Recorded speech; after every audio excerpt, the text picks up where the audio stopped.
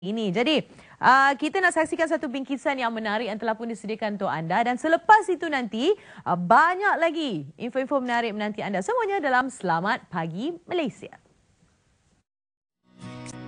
Pada zaman moden sekarang, inai mula dipopularkan di kalangan wanita sebagai perhiasan kecantikan.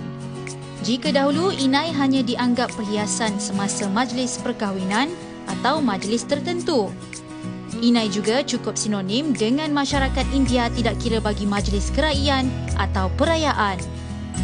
Namun pada zaman moden sekarang, inai menjadi perhiasan yang boleh dikomersilkan, malah menjadi sebahagian hasil seni yang sangat indah dan cantik. Malah inai turut menjadi trend kepada pelbagai lapisan masyarakat sebagai sebahagian daripada fashion yang mengikut perkembangan semasa.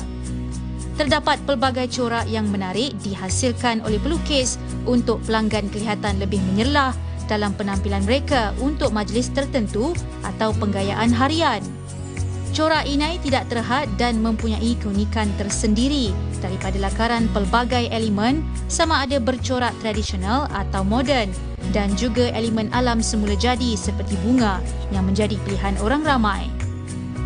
Bagi pelukis inai menjadi kepuasan bagi mereka apabila pelanggan tampil bergaya dan berpuas hati dengan corak yang telah diukir daripada hasil seni mereka.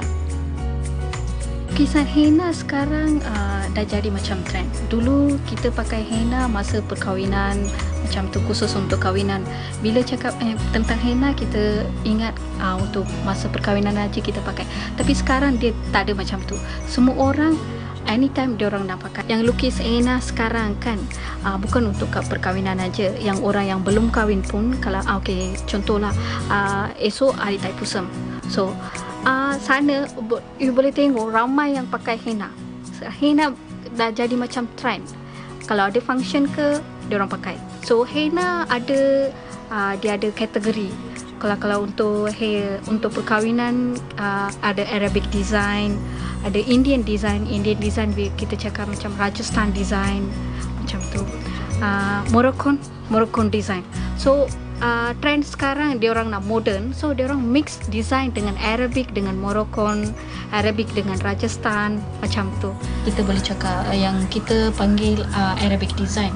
Yang ukiran yang datang macam line garisan macam simple simple sikit Morocco